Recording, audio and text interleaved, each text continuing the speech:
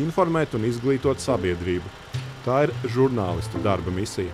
Un, ja tā padomā, tieši tāds pats vadmotīvs ir arī skolotāju darbam. Tādēļ varbūt ir gluži loģiski, ka starp programmas mācītspēks sagatavotajiem jaunajiem pedagogiem ir virkne spalvas brāļu. Viņu vidū arī Inga Papārda, kura 20 gadus drukātajā presē ziņojusi un komentējusi galvenokārt sociālus un veselības jautājumus. Un no jau otro mācību gadu Inga ir arī vēstures skolotāja Daugaugrības vidusskolā.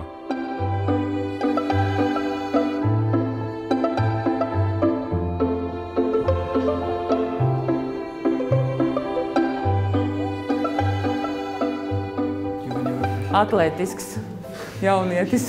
Viņš jau ir uh, крещен. Kas viņš ir? Он, он крещен уже. А. Написано. Его просто надо... Tūlīt ieslēgsies. Tātad. Nu ko? Tātad stundas plānosim šodien mēs tā, ka es nedaudz eh, atgādināšu, par ko mēs runājam, ja, jo daudz no jums pagājušajā nedēļā nebija. Eh, Mājās mācījās skolā, bet nu, pieslēdzāties un redzēja, ka visi arī no, no mājām attālināti. Nu, nezinu, viņš strādās vai nē? O, super, jā. Es tūlīt noņemšu. Mana pamata izglītība un uh, nodarbošanās, ar ko es esmu visu dzīvi saistīta, ir žurnālistika. Jau no 18, 19 gadu vecuma strādāju žurnālistikā. Tā, jūs stāstat, ja, un kas ir jādara pārējiem? Jāizdomā jautājumi, ja? Bet kā tad skola un vēsture gāja laiks un uh, gribējās vēl kaut ko studēt, pamācīties, kādu citu, kaut ko jaunu apgūt. Tad draudzene mana, arī starp citu pēc uh, pamat nodarbošanās un izglītības žurnāliste, saka, klausies, uh, tu zini, ka Latvijas universitātē uh, nav konkursu uz vēsturniekiem, uz bakalaura studijām vēsturē. Mēs abas iestājāmies budžetā. Un tas man tā aizrāva, ka es, protams, pabeidzu trīs gadus vēsturniekus un tagad studēju joprojām maģistratūrā, kur esmu paņēmusi akadēmisko pārtraukumu, bet esmu pilna apņēmības pabeigt arī uh, maģistratūru vēsturē. Tomēr, kad tu pastrādā ļoti ilgstoši kādā profesijā, tev jau, uh, es nevaru teikt, ka man bija kaut kāda izdegšana vai kaut kas tāds. Uh, enerģijas man ir, man ir joprojām pietiek. Uh, Bet uh, kaut kāda sajūta, ka tu dari visu laiku vienu un to pašu, un nu, nesajūti to gandarījumu tādu, kādu tev dod, kad tu uh, kaut kādu jaunu, kaut kādu lietu aizsāc. Nu, jā. Un tad es uzzināju, ka ir mācīt spēks izsludina uh, pieteikšanos, uzņemšanu. Es izturēju diezgan labi to konkursu, un, jā, un, un teicu, ka jā, es varētu pamēģināt strādāt, pamēģināt strādāt skolā par vēstures skolotāju. Vēsturē.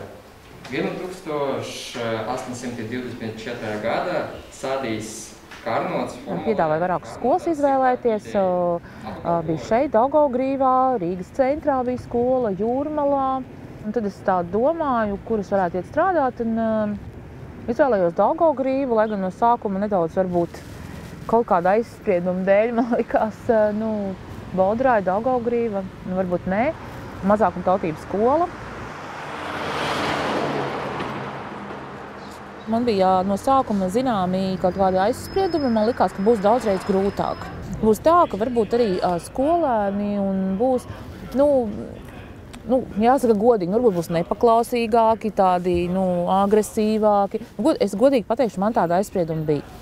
Un tas, ar ko tādā labā ziņā es saskāros, sākot šajā skolā strādāt, jau ar pirmajām dienām skolā, ka skolēni ir pilnīgi pretēji nekā tam, kā es iedomājos.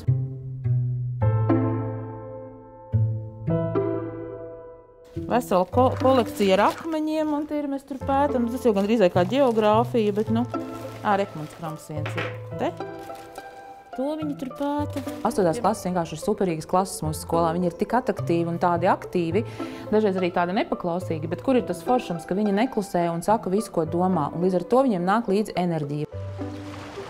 Un viņi man sagādāja vairākus kramus, ja, kas Latvijā tā vispār brīvi nav atrodami krams kā, kā akmeņi. Un viņi teica, man saka, skolotāji, bet man liekas, ka mēs varam kaut kur atrast. Taču Daugavgrī, pludmali, un kaut kur atradīsim. Un viņi, gāja, viņi tiešām atrada to krama gabalu, jo bieži vien viņus izskalo jūras malā no kaut kādiem nogrimušiem kuģiem. Un tas sakrita ar laiku, kad atrada Daugavgrīvā tātad šo te nogrimušo koka kuģi.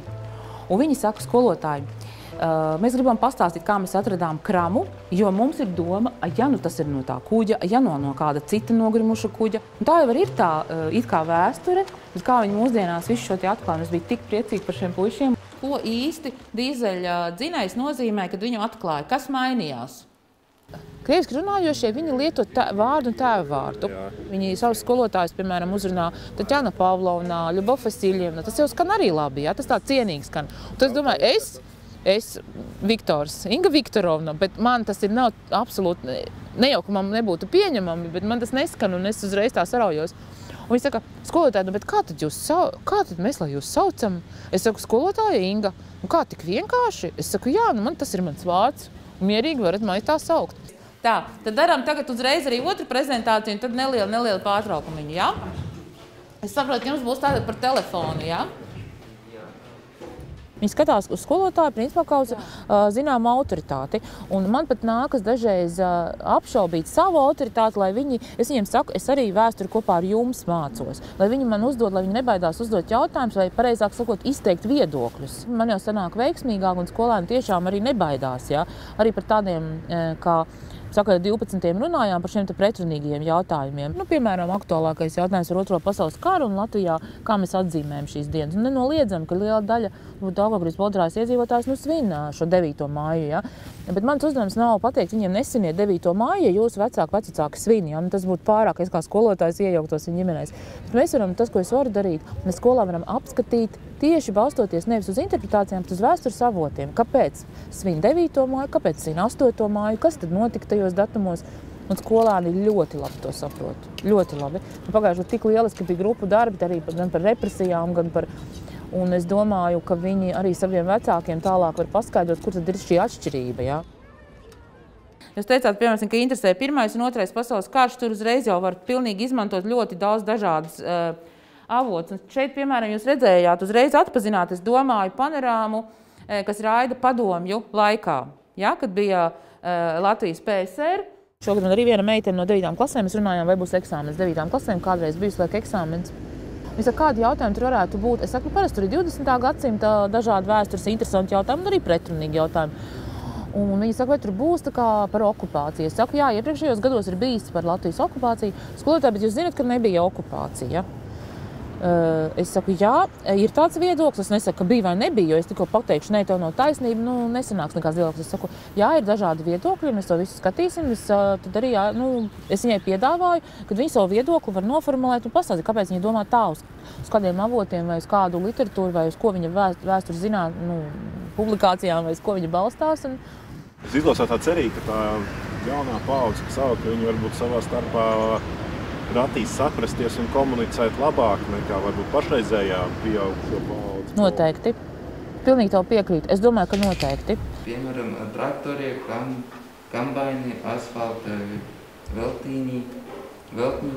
Nu, vienīgais, kas ir, varbūt viņiem ir, kas viņus tā nošķir, varbūt vēl joprojām no visas Latvijas sabiedrības, tā valodas prasme. Protams, ka es runāju latviešu, un es arī stundas vadu latviešu, un man tas arī jādara, un bērni arī klausās latviešu.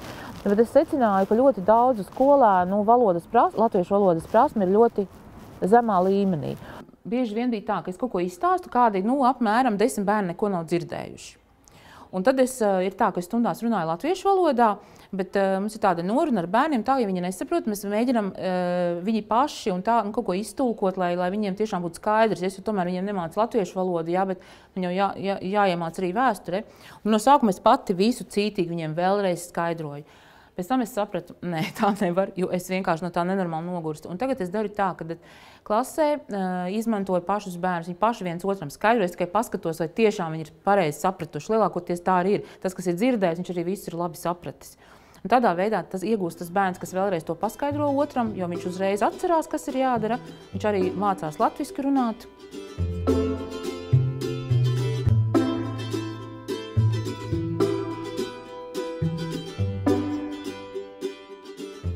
Skola 2030, jā, jaunais mācību saturs. Un man lielākā daļa, un vispār es esmu pilnīgi, pilnīgi šī jaunā satura atbalstītāja.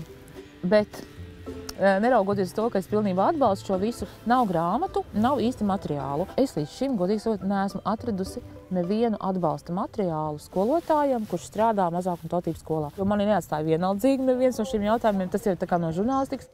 Es strādāju pati skolā un esmu iesaistīta tieši šajā izglītības sistēmā un skolā. Es kā, sajūtos kā ieinteresētā persona. Uz to es priekš sevis tā nolēmu, ka es pati varbūt šiem jautājumiem žurnālistikā nerakstīšu, bet zinu kolēģis, kur raksta par izglītības jautājumiem, es nododu informāciju vai tur, kur redzu kādu netaisnību vai problēmas, kas, kas notiek skolas vidē, es nododu kolēģiem un es domāju, ka tādā veidā es arī varu palīdzēt risināt šos jautājumus. Bet uzdevums jums!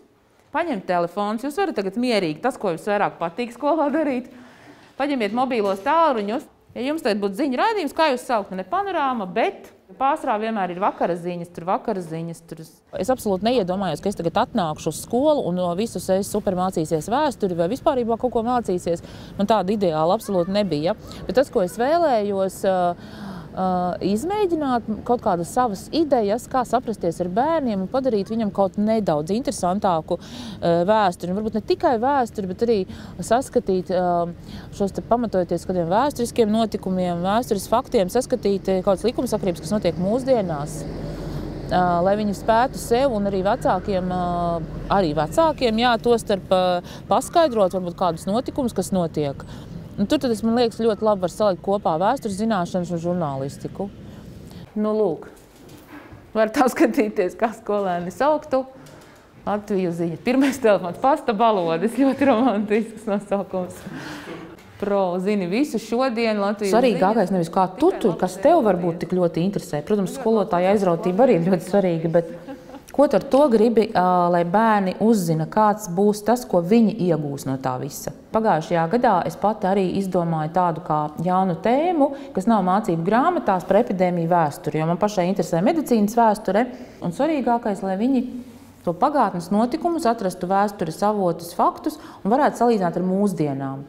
Un liels man bija pārsteigums, mēs pa dažādiem laikmetiem avotus skatījāmies, ka es atradu kopā ar skolēniem, piemēram, Puškina poēmu par čumu.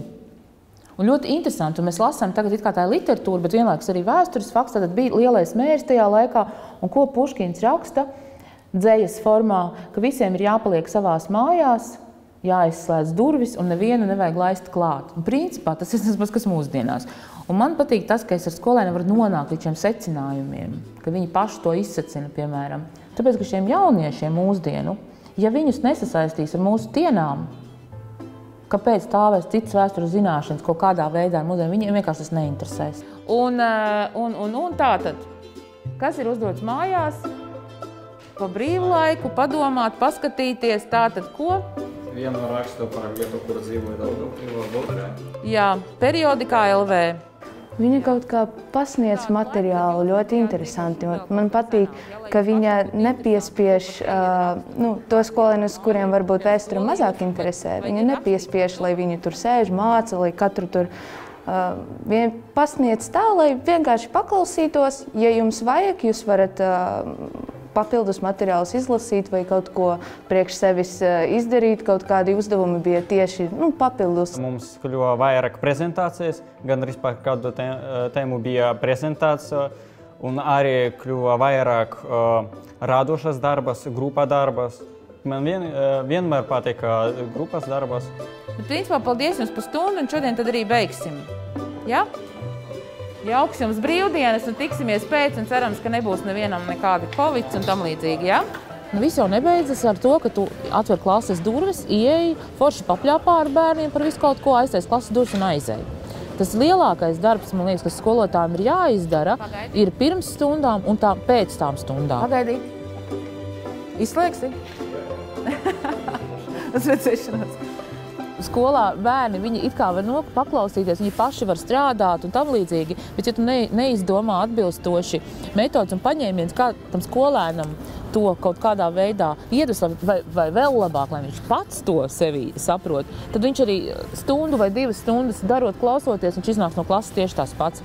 Un tas ir tas grūtākais, ko es esmu sapratusi skolotāju darbā un ko man arī nevienmēr izdodas līdz galam izdarīt lai vienalga, ko kādas metodas mēs izmantojam, lai tas skolēns uh, ir vismaz kaut kas, ko es stundas sākumā izdomāju, ka tas viņam ir jāizdara šo stundu laikā, un lai es varu beigās pateikt, un skolēns man pareizāk sakot, pasaka, ka tas ir izdarīts, ka viņš to ir apgūst, ka es redzu, ka viņa acīs ir tā sapratne, ka viņš, uh, ka viņš to ir sapratis. Astotās klases meitenes iet mājās tikai no skolas tagad. Labi, uzredzēšanos. Uzredzēšanos.